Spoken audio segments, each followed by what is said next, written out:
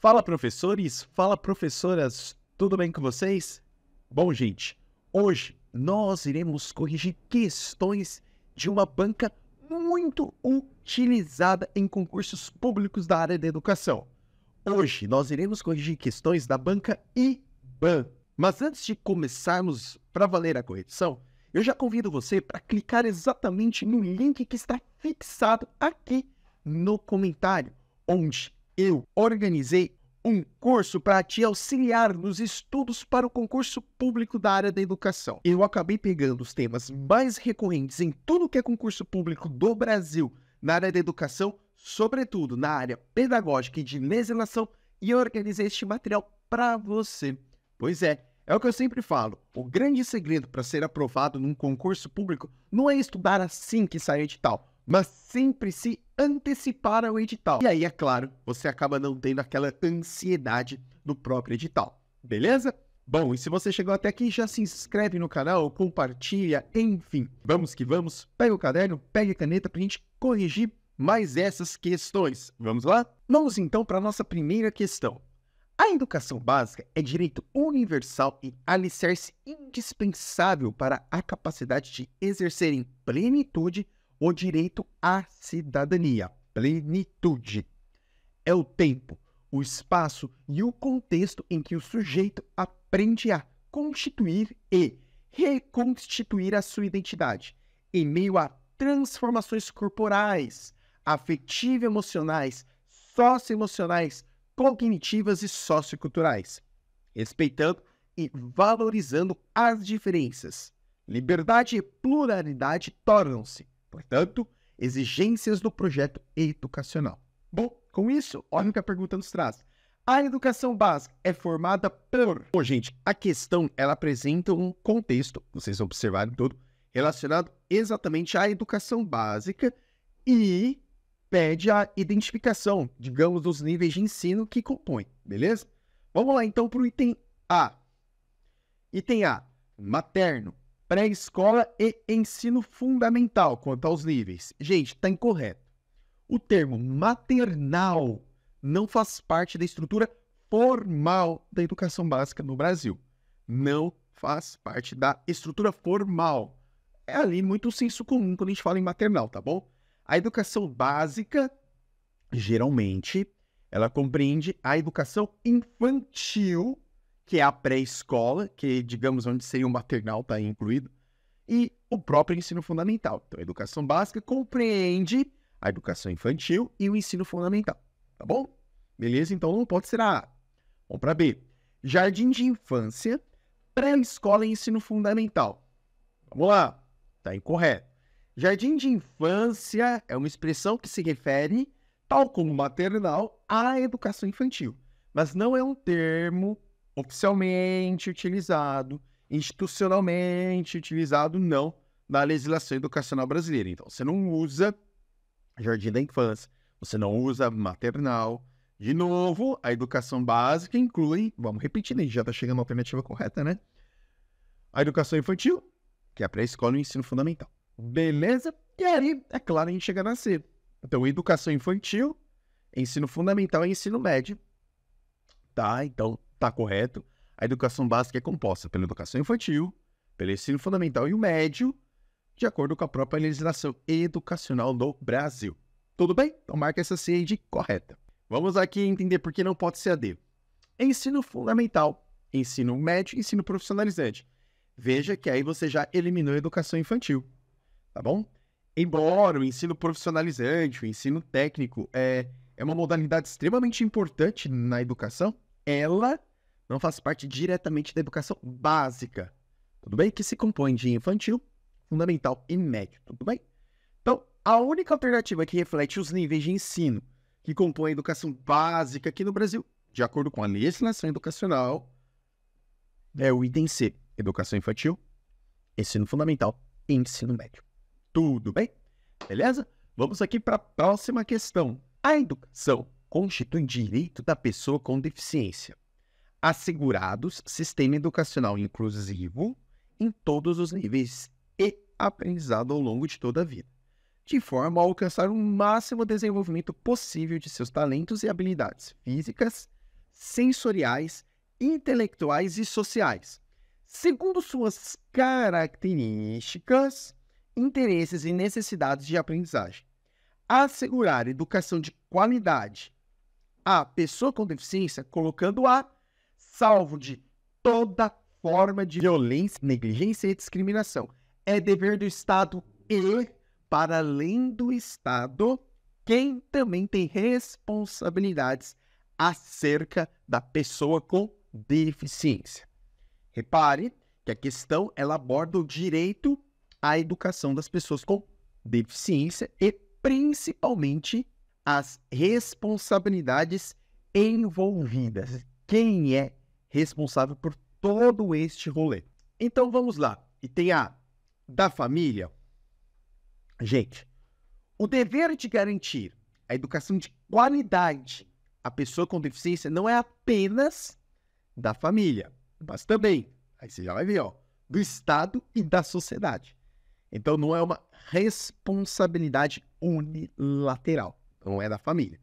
Vamos lá, de quem é essa responsabilidade então? Da família e da comunidade escolar. Galera, olha só. Embora a família e a comunidade escolar tenham de fato, um papel importantíssimo no processo educacional, o dever de garantir uma educação de qualidade à pessoa com deficiência vai muito além desses dois atores.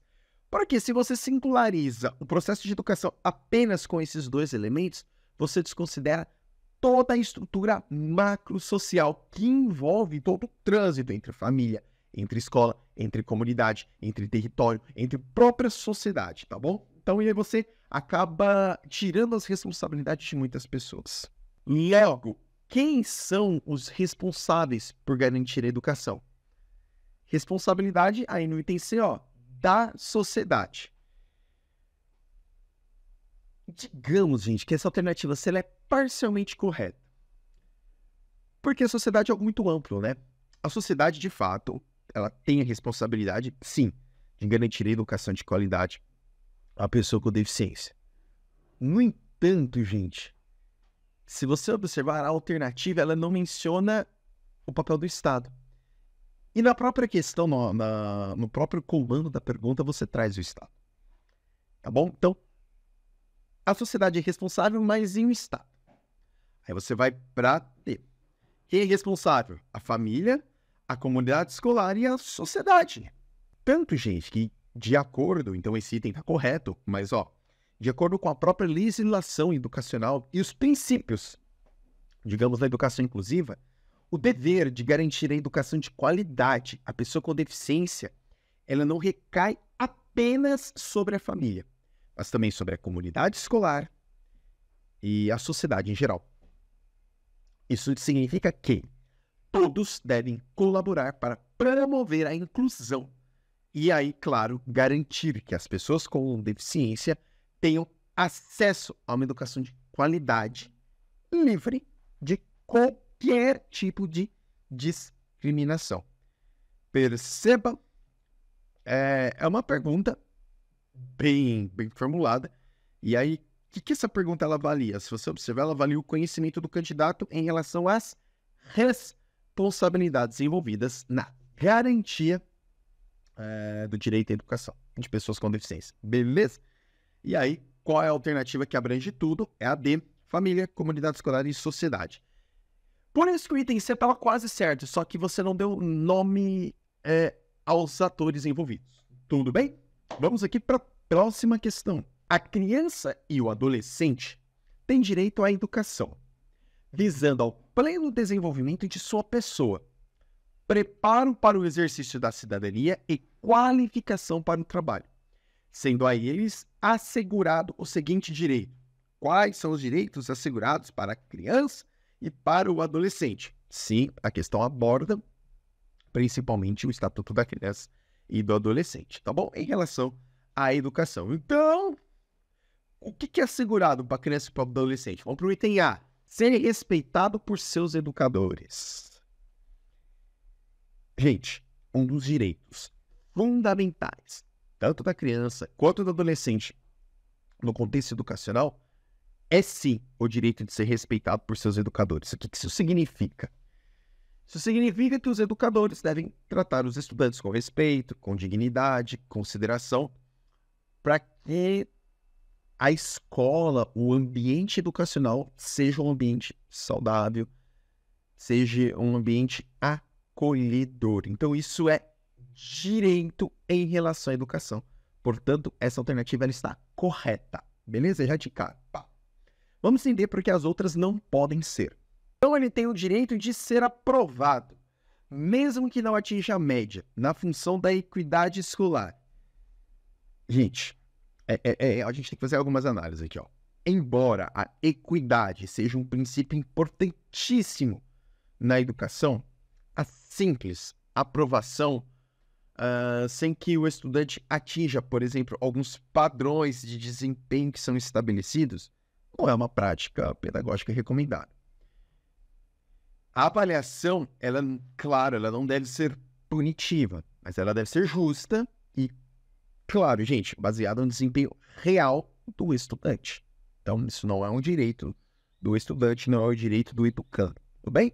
Vamos para ser aqui o direito. Então, ser o único responsável pelo acesso e permanência na escola. Gente, é uma criança, né, gente?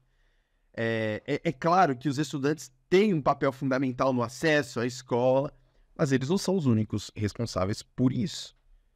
É, a responsabilidade pelo acesso, a responsabilidade pela permanência dele na escola não recai apenas sobre os estudantes, mas recai sobre as famílias é, e recai também sobre o sistema educacional tá bom? Que a gente assiste aí o que a gente chama de buscas ativas, tá bom? Bom, é, então pode ser a C. Vamos para D. Então é direito do estudante ter acesso à escola privada próxima de sua residência. Tá muito errado, né, gente? O direito à educação, é, de novo, de acordo com a legislação, ele sempre vai referir-se diretamente à educação pública, universal e gratuita é, embora a, a pessoa pode escolher uma escola privada, se possível for, é, não é uma ênfase do direito à educação e, de novo, que prioriza o acesso a uma educação pública de qualidade. Tá bom? Portanto, não pode ser essa questão. Mas, de acordo com um grande teórico da educação do século passado, que impactou nossos modelos atuais de educação, o conhecimento é um processo de interação entre o sujeito e o ambiente. Ah, isso aí vocês vão matar de cara. Interação entre o sujeito e o ambiente. Mas o ambiente é entendido como algo sociocultural e não apenas físico. Quem é esse teórico? Né? O teórico referenciado no texto denomina-se. Ah, vamos lá. Howard Gardner. Gente, não é, tá? É, Gardner ele é conhecido por sua teoria das inteligências múltiplas uh, que se concentra principalmente na diversidade de habilidades cognitivas das pessoas, mas não tem uma relação direta com o espaço de desenvolvimento, mas sim com a, as habilidades de cada indivíduo, as habilidades múltiplas, tudo bem?